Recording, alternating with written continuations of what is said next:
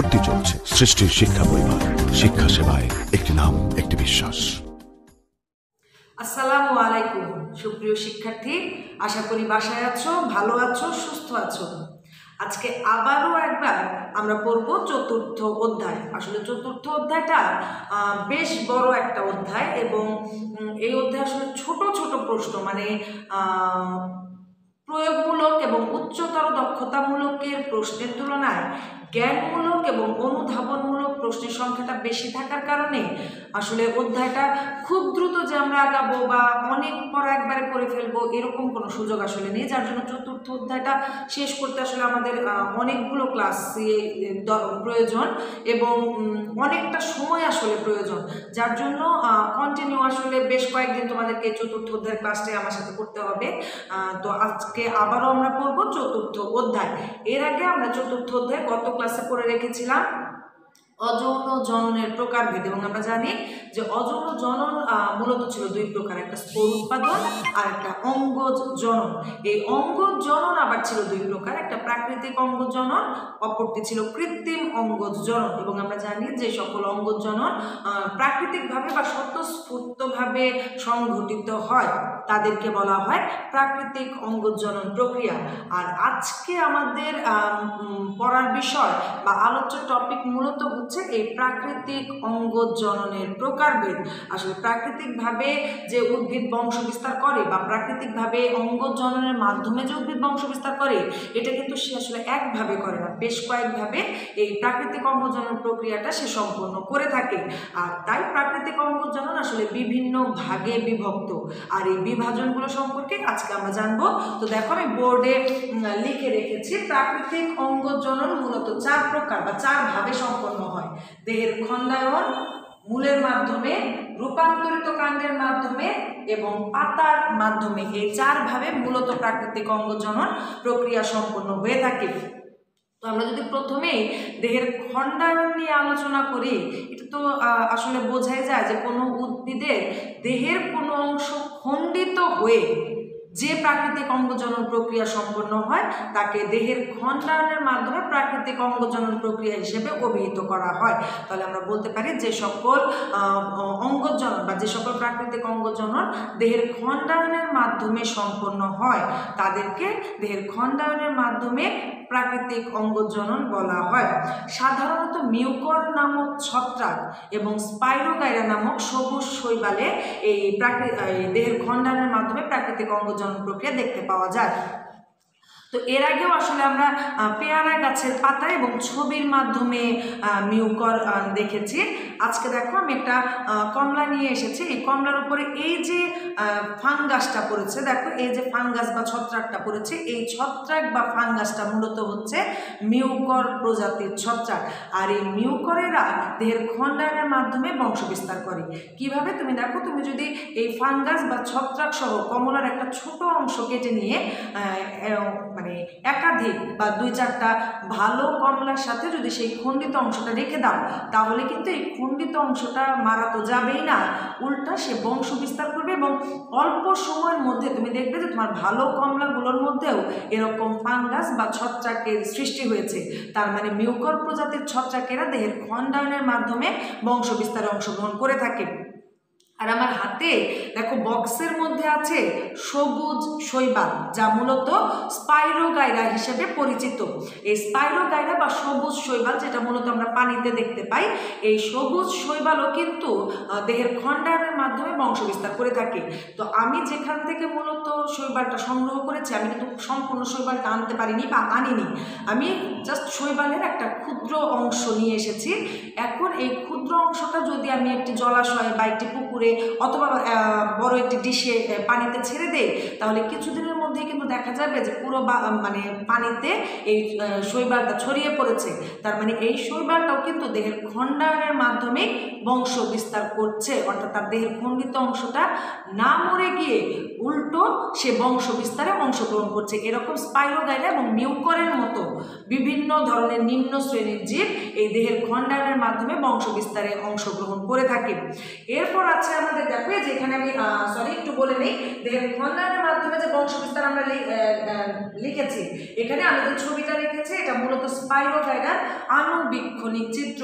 তো স্পাইরোগাইরা আমরা তো কেবলই পড়ে আসলাম যে স্পাইরোগাইরা মূলত দেহের খণ্ডায়নের মাধ্যমে বংশ বিস্তার করে তোমাদের বইয়ে যে পঁয়ত্রিশ পৃষ্ঠায় প্রাকৃতিক অঙ্গজননের নিচে এক নাম্বার পয়েন্টে দেহের খণ্ডায়ন দেওয়া আছে। এই দেহের খণ্ডায়নের প্রথম লাইনের শেষে তোমরা দেখো মিউকর এবং স্পাইরোগাইরা শব্দ দুটো দেওয়া আছে।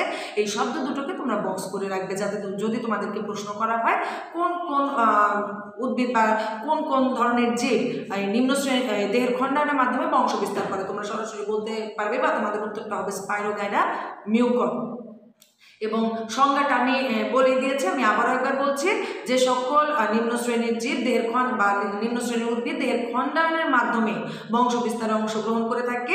তাদেরকে বা সেই বংশ বিস্তারের প্রক্রিয়াকে দেহের খণ্ডায়নের মাধ্যমে প্রাকৃতিক অঙ্গজনন প্রক্রিয়া বলা হয়ে থাকে। এরপর আছে দেখো, মূলের মাধ্যমে বংশ বিস্তার প্রক্রিয়া। আমরা ছবিটায় পড়ে যাচ্ছি। তার আগে দেখো কোনো কোনো উদ্ভিদের মূল থেকে নতুন উদ্ভিদের সৃষ্টি হয়। যেমন আমরা যদি প্রথমে সেগুনের কথা বলি, সেগুন কাঠটা আসলে ছবিটা কতটা স্পষ্ট আমি বুঝতে পারছি না।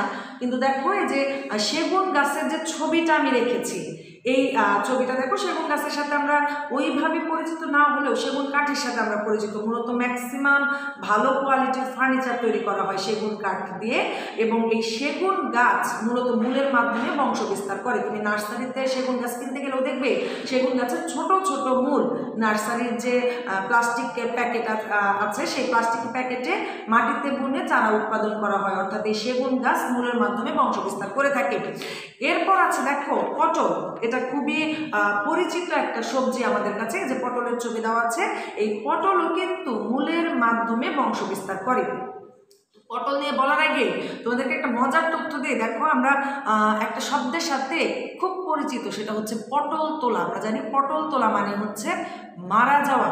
এর আসলে বৈজ্ঞানিক ব্যাখ্যাটা হচ্ছে যে তুমি যদি কোনো ফলবতী পটল গাছ থেকে একবারে সবগুলো পটল তুলে ফেলো মানে তোমার গাছে যতগুলো পটল ধরেছে, সবগুলো পটল, ছোট, বড় সব পটল তুমি যদি একবারে তুলে ফেলো, তাহলে সাথে সাথে মা পটল গাছটা মরে যায়। যেহেতু ফলবতী পটল গাছ থেকে সব পটল তুলে ফেললে মা গাছটা মরে যায়। এইখান থেকে আসলে পটল তোলা শব্দটা এসেছে এবং যার অর্থ হচ্ছে মরে যাওয়া। এটি মূলত একটি বাগধারা। যে পটল তোলা অর্থ হচ্ছে মরে যাওয়া বা মারা যাওয়া। তো এই পটল গাছ মরে যায় বাবা। এটা তো এমনিতেও সিজনালি তার সিজন শেষ হলে সে মরে যায়। কিন্তু মরে যাওয়ার পরেও দেখো এই শিকড়গুলো কিন্তু এটা পটল গাছের মূল, মূলত মূল বা শিকড়, এই শিকড় মাটির নিচে রয়ে যায়। তুমি যদি শিকড়গুলো না তুলে ফেলো, নষ্ট করে না ফেলো, তাহলে আগামী মৌসুমে, আগামী সিজনে এই মূল থেকে কিন্তু নতুন পটল গাছের জন্ম হবে এবং সে নতুন করে আবার তোমাকে সবজি বা তার ফলটা প্রদান করবে। অর্থাৎ পটল গাছ বছরের পর বছর একটি মূল থেকেই নতুন শিশু উদ্ভিদের জন্ম দিতে সক্ষম। তাহলে পটল এবং সেগুন উভয়ই মূলের মাধ্যমে বংশ বিস্তার করে। তাহলে আমরা বলতে পারি যে যে সকল উদ্ভিদ। মূলের মাধ্যমে বংশ বিস্তার করে তাদের বলা হয় মূলের মাধ্যমে প্রাকৃতিক অঙ্গজনন প্রক্রিয়া। আবার কিছু কিছু উদ্ভিদ আছে যারা খাদ্য সঞ্চয়ের কারণে ফুলে মোটা ও রসালো হয়ে যায়। তোমরা বোর্ডের ছবিটা এখন একটু লক্ষ্য করো। দেখো এখানে মিষ্টি আলুর ছবি দেওয়া হচ্ছে যেহেতু দশটা এখন মিষ্টি আলুর সিজন না, তাই আমি ইচ্ছা থাকা সত্ত্বেও আসলে মিষ্টি আলু দেখাতে পারছি না। এখানে দেখো মিষ্টি আলুর ছবি দেওয়া আছে। এই মিষ্টি আলুগুলো মূলত হচ্ছে মিষ্টি আলু গাছের মূল এবং মিষ্টি আলু গাছের খাদ্য সঞ্চয় করে রাখার কারণে এই মিষ্টি আলুগুলো মোটা এবং রসালো হয়। এবং এই মিষ্টি আলুর মধ্যে এই যে দেখো কতটা আসলে বোঝা যাবে আমি বুঝতে পারছি না।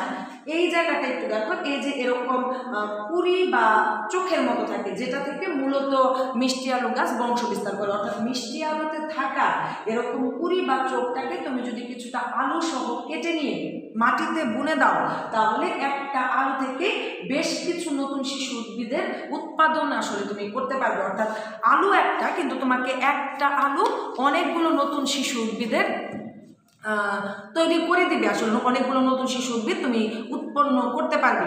তাহলে আমরা বলতে পারি যে ভুলের মাধ্যমে মূলত বংশ বিস্তার করে পটল, সেগুন এবং মিষ্টি আলু। তৃতীয়ত আমাদের যেটা ছিল সেটা হচ্ছে রূপান্তরিত কাণ্ডের মাধ্যমে বংশ বিস্তার আমি যদি আসলে সংজ্ঞাটা বলতে চাই যে রূপান্তরিত কাণ্ড কি, তাহলে এটা আমরা বলতে পারি যে কিছু কিছু উদ্ভিদে যে সকল কাণ্ড বংশ বিস্তারের উদ্দেশ্যে রূপান্তরিত বা পরিবর্তিত হয়, তাদেরকে রূপান্তরিত কাণ্ড বলা হয়। কিছু কিছু উদ্ভিদের যে কাণ্ড বংশ বিস্তারের উদ্দেশ্যে রূপান্তরিত বা পরিবর্তিত হয়, তাদেরকে রূপান্তরিত কাণ্ড বলা হয়। কারণ আমরা সবাই জানি যে কাণ্ড মূলত মাটির উপরে থাকে, মূল থাকে মাটির নিচে।